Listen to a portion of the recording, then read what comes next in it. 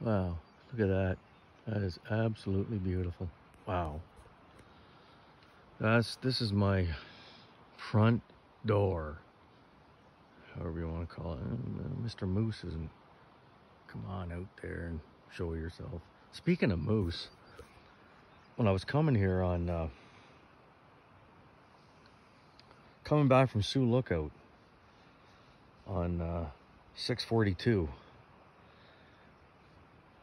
I was kind of, you know, you're driving, you're looking, you know, there's nobody on the road, it's empty. I'm driving along, you know, and I was kind of looking for animals and stuff. Then I quit and I started daydreaming and everything. And I look and there, all of a sudden I see something in the ditch. I don't know if he was attempting to cross or it was in there grazing. There was a big a moose was in the ditch. I I mean I went holy. I couldn't turn the video on. I mean I would have been. There's no way I could have done it in time. And he saw, you know, he was in the ditch and he just turned and and clump, clump, and went into the woods. It was I couldn't believe it. It was like shocking. This big moose was in the. I went past, past this moose. Was on my side, my side of the road, and the on the right side ditch. And he's right there, and I just went. I took my foot off the gas. All I had time to take my foot off the gas and go, "Oh my god!" And yeah, look at that sun.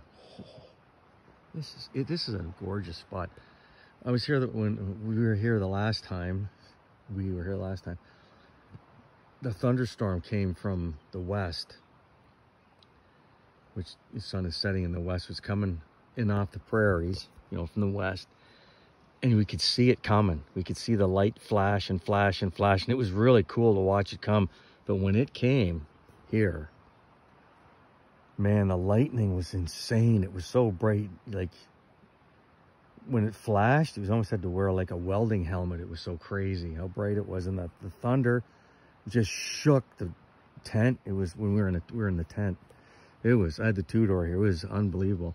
But the reason why I flipped the old video on here was when I, the Jeep wasn't level.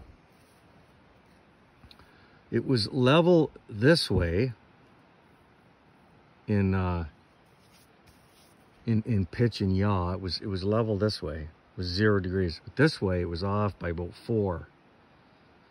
So as you can see, I had, I, I cut some logs and I put them under the front and the back wheel and I backed over them to bring this, to bring this side up.